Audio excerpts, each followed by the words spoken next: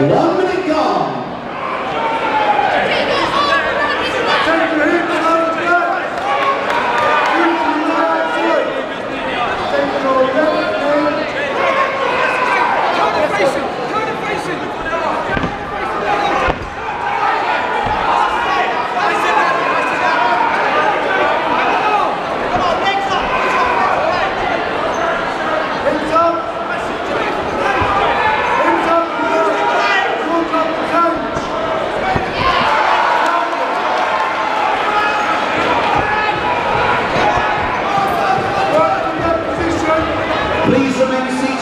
gentlemen, please remain seated, thank you.